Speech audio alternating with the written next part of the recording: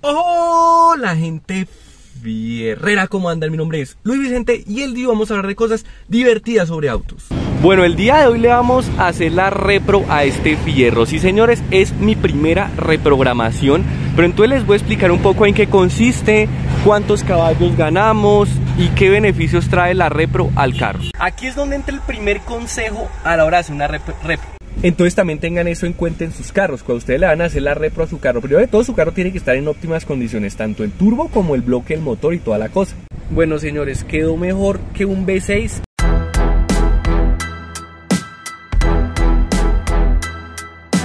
Pero antes que nada les quería sugerir que se suscriban a mi canal. Aquí arriba a la derecha les estaré dando la lista de reproducción con todas las cosas que le hemos hecho a este Genesis. Han sido varias, cositas muy interesantes. Carro turbo, también le hemos hecho cosas muy interesantes a un carro aspirado, que es un Nissan Sentra B13. También hemos hecho también proyectos para vender carros, que fue el del Twingo. Entonces, para que lo miren. Y si les gusta, suscriben sin ningún compromiso. También tenemos proyecto Aveo. Bueno, ¿qué es una reprogramación, señoras y señores? Una reprogramación es que ustedes le modifican el software, ¿sí? Les meten, miren, pónganle cuidado. ¿Cómo le modifican el software a un carro? ¿Cómo fue, cómo es el proceso? Resulta que esos carros tienen acá una pachita aquí abajo, depende del carro, puede ser allá ese lado, puede ser aquí este lado. Una pacha donde le entra, ah, miren, la que está, en este carro está acá, miren. Esto es como una especie de USB para el carro, ¿sí?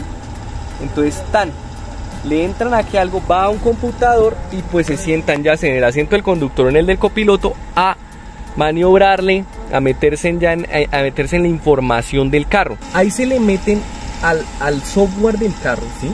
Con eso, al disco del carro, el que mide eh, cuánto caudal se le va a poner al cuánto caudal tiene que inyectar, eh, tiene que hacer la inyección del carro, eh, hasta inclusive si el carro tiene caja automática, se le puede reprogramar el software de la caja para que sea más eficiente. ¿Y esto qué les va a hacer ganar a ustedes? Potencia, señores, potencia. A mí sí me interesa. Entonces, eh, ustedes al ganar, aquí con esto ganan power, pero mucho, o sea, esto da más que modificarle un exhausto, que cambiarle unas bujías, da mucho más. Aquí es donde entra el primer consejo a la hora de hacer una repro. Es mucho más eficiente hacer la repro en un carro turbo cargado que en un carro aspirado. Una repro en un carro aspirado les puede ayudar a ganar entre unos 6 caballos a unos 10 caballos. Si su carro tiene más de 2500 centímetros cúbicos de desplazamiento, le puede ganar unos 20 a 30 caballos de potencia, lo cual va a ser muy genial y eso sí también les gana buen torque. Pero por el contrario, en un carro turbo cargado, ustedes van a ganar potencias hasta de 80 caballos si así lo requieren. 80, 60, 50, por bajito, por mal que les vaya, se ganan 40 caballos de potencia, pero yéndoles mal. Ah, mi carro es un 1.4 y le quiero hacer la repro. Listo. Y así sea una repro muy suavecita, les va a hacer 40 caballos más de potencia. Ejemplo muy claro. Golf TSI.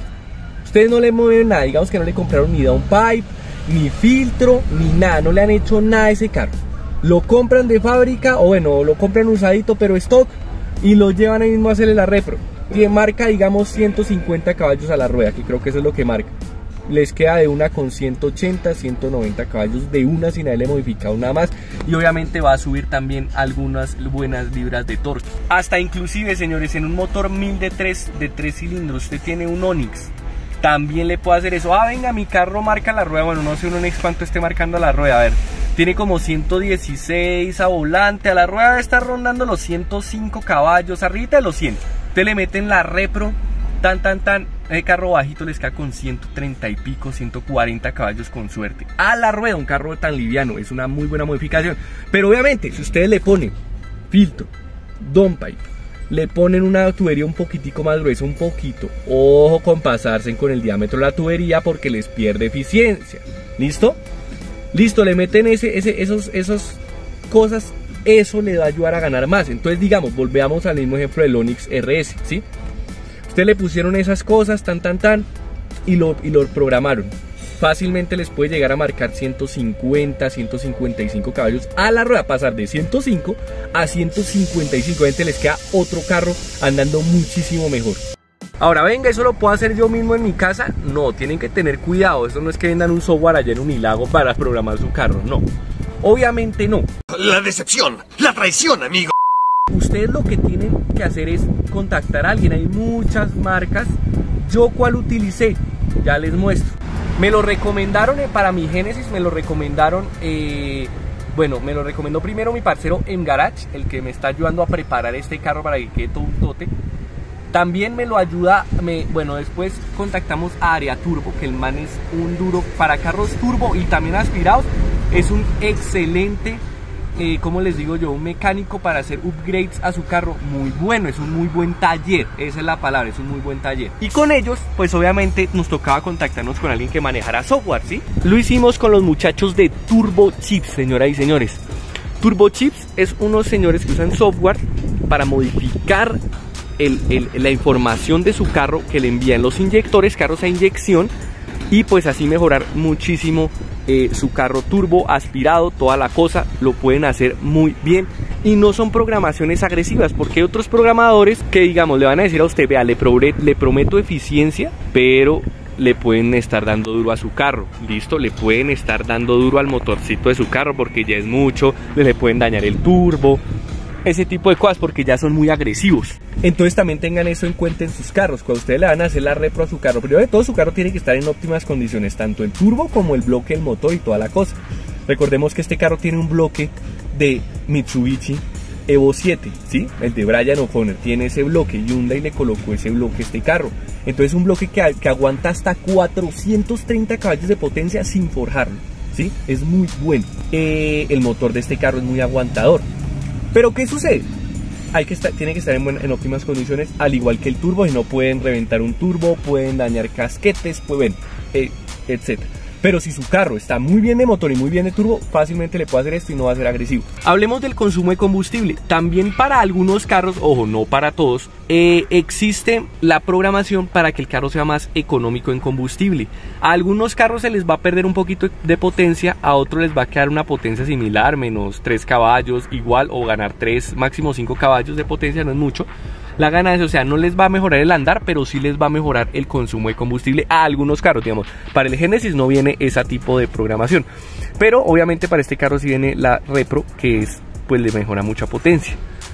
El, hablemos del consumo de combustible. Si ustedes compran la Repro para mejorar potencia, el carro andándolo en baja sin pasar de las 2000 revoluciones, 2000, 2500, o sea, sin que sople el turbo, sin que esta vaina suba, sin que el turbo se suba en, presión, eh, perdón, sin activar el turbo, mejor dicho, eh, el carro les va a consumir el mismo combustible. Ay, ¿no afecta el combustible? No.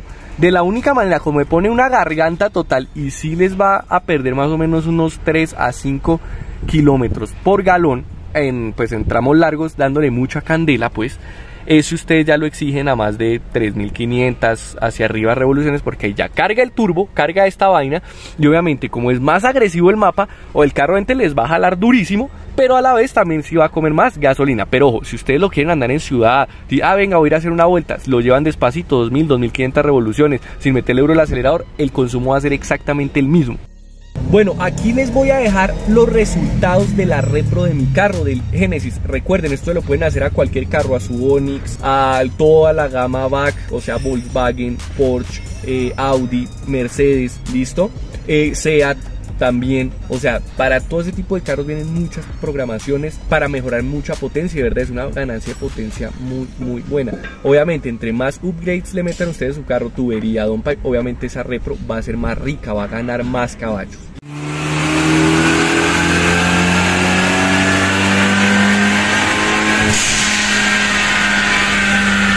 Bueno, parceros y parceritas, aquí se pueden dar cuenta de la diferencia que hubo. Línea punteada es torque, línea completa es caballos de potencia. Pasamos de 211 caballos de potencia a 282 caballos de potencia a rueda, ojo, datos a rueda. Y de 371 newton metro de torque, lo cual era muy bueno, pero sin embargo pasamos a 467 newton metro de torque.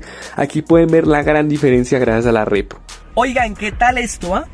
¿Qué tal esto? 282 caballos a la rueda o lo que traducido a volante serían 330 caballos de potencia, señoras y señores.